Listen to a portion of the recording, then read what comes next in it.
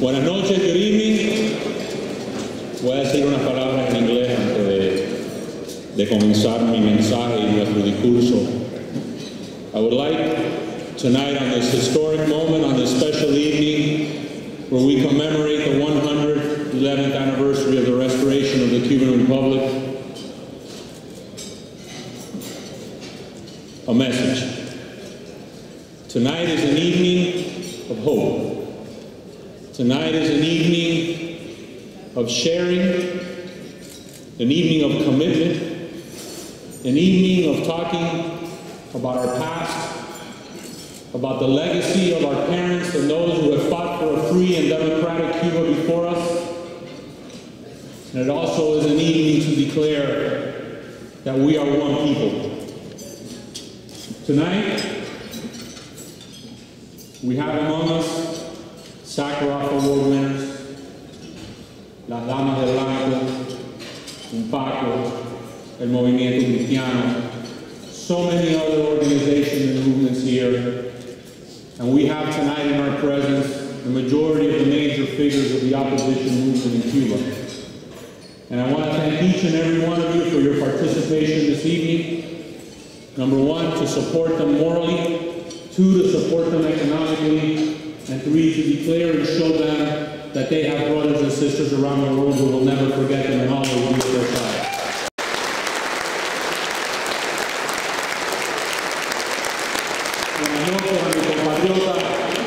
Bernie Navarro, presidente de Latin Builders Association, directores de esa organización tan a Pepe Hernández, a los directores, miembros de la Fundación Nacional patriotas presentes, a mi querida dama de blanco, a mi querido Guillermo Coco Fariñas, esta noche aquí en este salón hacemos patria.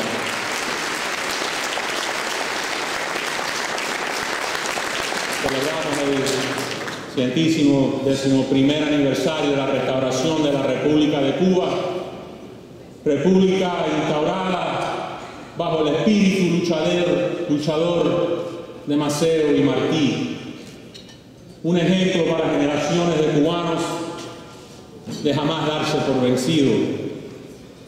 Durante ese medio siglo de libertad pudimos ver una Cuba próspera, una Cuba donde sus hijos en escoger sea la cultura, el arte, los negocios, ser un impacto mundial y esa perla antillana, la envidia del mundo. Llegó en el año 1959 ese accidente de la historia que conocemos como los hermanos Castro, cogiendo como rehén al espíritu cubano y a la tierra cubana, pero no al alma de Cuba. En ese periodo, en ese tiempo, como me contaba mi querido padre Jorge Mascanosa, a través de su, de sus sueños y sus ansias, me contaba que desafortunadamente a Cuba le faltaban en ese momento las instituciones para proteger un sistema democrático, un Estado de Derecho y un sistema donde los derechos humanos del hombre se respeten. Tuvo que buscar libertad fuera de su tierra natal, como cada ese paso tan difícil de irse de su tierra natal. Pero el alma cubana vive. Qué lindo capítulo el del exilio cubano. Muchos hablan del dolor de la separación y ese es el arma que ha utilizado el régimen castrista, la separación familiar. Pero qué lindo lo que han logrado mis padres, mis abuelos y esa generación que llegó aquí a los Estados Unidos, porque crearon una Cuba fuera de la tierra física que es Cuba. Crearon una Cuba en el corazón de una nueva generación de cubanos. Crearon una Cuba en el alma de cada uno de nosotros que seguimos luchando por esos mismos ideales y esos mismos valores. ¿Qué trabajo pasaron esos hombres y mujeres llegando a un país extraño sin hablar su lengua, pero tuvieron éxito. Y eso es parte de ser cubano, el éxito de cubano. Vemos como un hombre como Jorge Mascanosa tuvo que pasar y trabajar como un lechero, trabajar en los puertos, trabajar en el hotel y al mismo mismo tiempo luchando para regresar a su patria. En ese entonces era una guerra más bien armada. Vemos como empresas y empresarios cubanos tenemos éxito alrededor del mundo. Como la música cubana y la cultura cubana se sigue escuchando alrededor del mundo y leyendo alrededor del mundo. Porque los hijos cubanos del exilio siempre han puesto Cuba primero. Porque Cuba no es solamente el aroma de nuestro café, el símbolo de la palma real, sino es el mensaje que el cubano es cubano que el corazón nuestro y el alma cubana siempre va a vivir y tener éxito. Hemos visto como en este camino las empresas, y viendo aquí hombres de empresas que representamos los cubanos, producimos más hoy en día que el Producto Bruto de Cuba. Porque desafortunadamente los hermanos Castro han destruido a nuestra isla, pero jamás han podido destruir el afán y nunca olvidar a nuestro pueblo dentro de la isla. Y quiero Berta, Coco, Belkis, Laurita y todos presentes aquí hablarles un poco de nuestro exilio, de qué es la Fundación Nacional Cubano-Americana, de por qué hacemos lo que hacemos. Y a mediados de los años 70, cuando todavía recuerdo las conversaciones en mi hogar Recuerdo un discurso que a mí me tuvo mucho impacto en 1975, donde mi padre dijo lo siguiente, cuando pequeños aprendimos a querer la bandera, a Girón marchamos bajo el amparo de Dios y la sombra de nuestra bandera. Por ella lucharemos con valor y sacrificio para izarla libre y soberano bajo el cielo de. Ese era el sentir de Jorge Marcanosa a mediados de los años 70. Pero faltaba algo en la lucha hacia la libertad de Cuba. Y le faltaba una institución de la cual él hablaba que no podía defender a nuestra querida patria. Y ahí surge la idea de unir a los cubanos bajo el lema de la Fundación Nacional Cubano-Americana para enseñarle al mundo en las capitales y en las esferas de poder que los cubanos estamos unidos en el propósito de la libertad y la democracia en nuestro Cuba, que los cubanos soñamos con lo mismo que sueñan todos los otros hombres y mujeres libres del mundo, y así se creó su Fundación Nacional Cubano-Americana.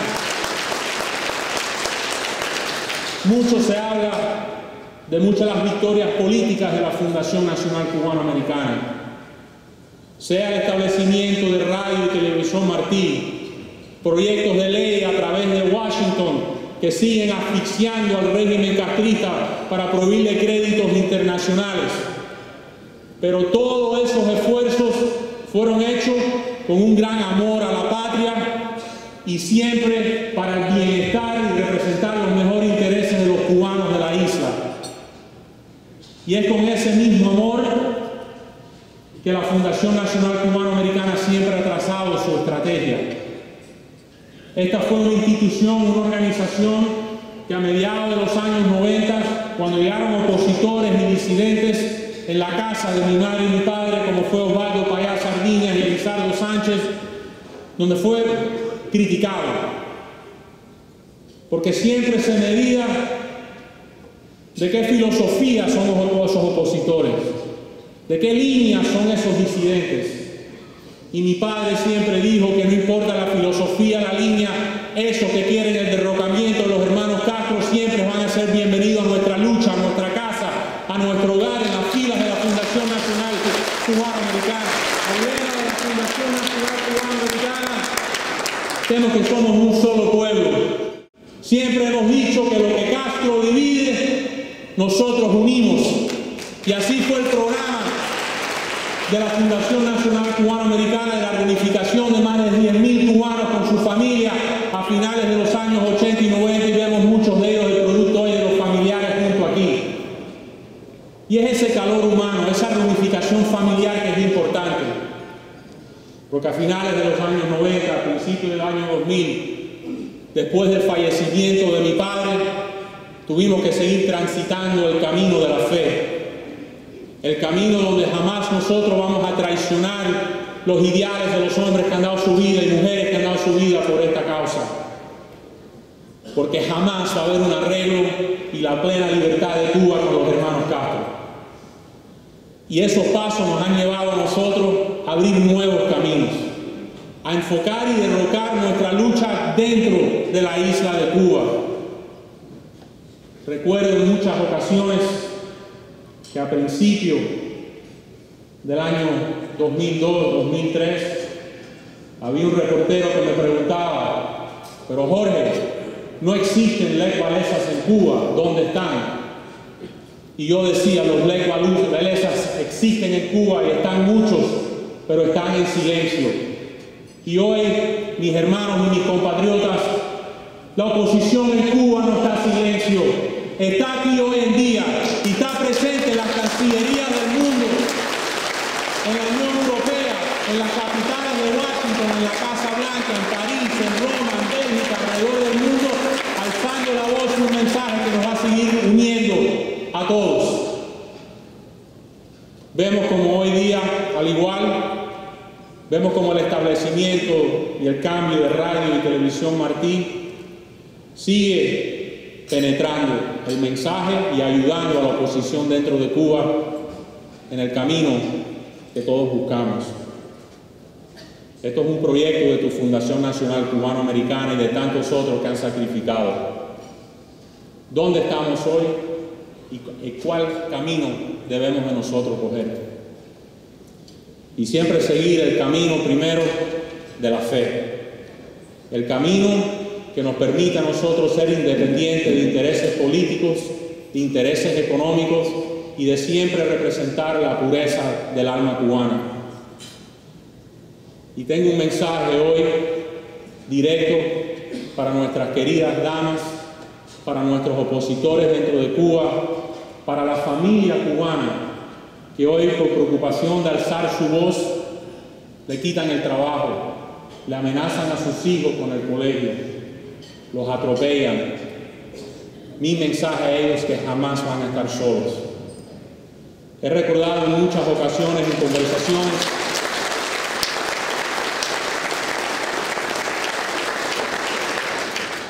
la preocupación de muchos opositores con sus hijos. Nosotros somos una familia que hemos recibido muchas bendiciones. Una familia en cual nuestro Padre nos inculcó a todos nosotros la importancia de una educación. Hemos tenido la potestad de poder tener un programa de becas de la familia Más que ha ayudado a más de 250 jóvenes cubanoamericanos a educarse en las mejores universidades de los Estados Unidos. Y quiero que con ese espíritu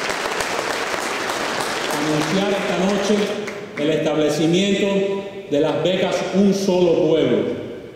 Unas becas que vamos a otorgar a los jóvenes cubanos en Cuba para que puedan estudiar en el extranjero y no le falten bajo las amenazas de Cuba, del régimen, para que puedan salir. Y quisiera esta noche anunciar que entre becas, poder y poco cariño van a ser los que van a entregar este premio. Y tengo la bendición en nuestro programa vamos a dedicar 500 mil dólares a este programa de becas para los jóvenes dentro de Cuba, para que puedan salir, para que puedan estudiar. Porque en cada encuentro que tiene un cubano con otro, eso nos une. Cuando vemos aquí el, el encuentro, la salida de un cubano, el encuentro de un cubano americano con un cubano en la isla, eso nos une. Tenemos que siempre en esa unión buscar nosotros los puntos claves que nos va a ayudar a derrocar a ese régimen totalitario. Tu Fundación Nacional Cubano-Americana y tantos otros que nos han apoyado, escogimos un camino en el 2007, que era en realidad ser un cabildeo fuerte para que la ayuda de los programas de los Estados Unidos y los fondos privados le puedan llegar directamente a esos en la isla que lo necesiten. A nuestros esfuerzos bajo críticas, bajo presión, porque conocemos y como decía Jorge Mascanosa, esto no es un camino, una lucha donde te tiran rosas. Pudimos nosotros establecer tres puntos esenciales. Primeramente, asegurarnos que los presupuestos de radio y televisión Martí puedan seguir y salvar a esa estación donde hoy día vemos el producto, que a través de las redes sociales, que a través de internet, más de 17 mil cubanos al día escuchan el mensaje de las redes sociales de los Martí. Por la primera vez en nuestra historia, hay periodistas pagados de radio y televisión Martí en la isla, rompiendo ese monopolio de información que sigue privando a nuestro pueblo de la verdad. El segundo punto fue reestructurar los programas de USAID a la isla. Logramos con mucha fuerza que esos programas hoy en día más del 75% de esos fondos son recibidos por los hombres y mujeres valientes de la isla en Cuba y hoy en día vemos que ese es un programa efectivo. No podemos nosotros depender de un gobierno, sea norteamericano o otro, porque tenemos que aprender de la historia. Esto ha sido una lucha que la hemos tenido que llevar solos. Porque si esperamos que un gobierno extranjero libera nuestra patria, Desafortunadamente aquí van a estar mis hijos y mis nietos dando el mismo discurso y un recuerdo del legado de sus padres. Y una de las cosas más importantes es el relevo generacional. Porque vemos tantos que han dado su vida por la patria. Un Jorge Mascanosa que no pudo lograr poner pie en su tierra natal de Santiago de Cuba, pero el espíritu de Jorge Mascanosa vive ese es un espíritu que jamás nos vamos a dar por vencido. Y el legado de nuestro padre y de nuestra generación solamente nosotros, los que seguimos en esos pasos, somos exitosos en lograr, esa libertad que tanto soñamos y añoramos todos los cubanos. Y es dentro de este espíritu de deber, de convicción, de jamás olvidar a nuestra al legado de nuestros padres, a ese legado que nos han dejado esos que crearon una Cuba aquí fuera de la tierra geográfica, un gran deber. Les tengo un mensaje a nuestras damas, a Coco Farinas, a cada uno de ustedes que con valentía y coraje se enfrentan a ese régimen todos los días. Porque es muy fácil ser opositor y disidente del exilio cubano. Es muy fácil desde la sala de nuestra casa alzar nuestra voz. Pero en realidad donde estas valientes mujeres han llevado estas luchas es en las calles de Cuba. Es donde las turbas y la policía política las persiguen, le dan golpes, le dan atropellos y las amenazan, porque ahí sabe el régimen castrista que pierden la guerra y si pierden la calle. Y esta noche quiero reiterarle a las damas de blanco, a Coco Fariños y todos los hombres y mujeres que van a volver a ese régimen. Muchos preguntan por qué el régimen las han dejado salir. Apostaban a que se le olvidara al mundo el mensaje de estas mujeres, que a lo mejor no regresaran a Cuba. Nos pusieron obstáculos para recibir premios. Recuerdo las mujeres de la Fundación Nacional Cubano-Americana, Lali San Pedro, Clara María del Valle, Irma Santos de Mascanosa, tener que en representación de las damas estar ahí en la Unión Europea. Ese es el apoyo que siempre vamos a brindarle nosotros a las damas de blanco. Pero tienen un mensaje importante esta noche, que cuando vuelvan a Cuba van a estar protegidas porque cuántos obstáculos Berta Soler nos puso la Iglesia Católica para que no tuvieras ese encuentro con el Santo Padre. Y por fin lograste estar con el Padre Francisco y decirle la realidad de nuestra Cuba, de nuestra patria. Y recordemos que la Iglesia no es el cardenal, la Iglesia somos nosotros los humanos que creemos en Cristo, que creemos en el mensaje de nuestro Dios y que tenemos fe que somos un solo pueblo. Y esta noche les reitero que ese patrimonio del exilio cubano, de hombres de empresa, de la Fundación Nacional Cubano-Americana y de los Latin Builders Association. Y el patrimonio de mi familia siempre va a estar a la disposición y el servicio de los valientes hombres y mujeres dentro de Cuba para que jamás les falte nada que necesiten para defender a su familia, a su marido, a su bienestar. Y mientras sigan latidos en este corazón y donde corre sangre mambiza, ahí vamos a estar a tu lado y jamás vamos a claudicar frente al régimen castrista. Siempre de frente con la cabeza en alto como lo hacen las mujeres y ahorita como lo has hecho tú siempre dentro de Cuba. Y decirle al mundo y reiterarle al mundo que Jorge Mascanosa vive, que Laura Pollán vive, que Zapata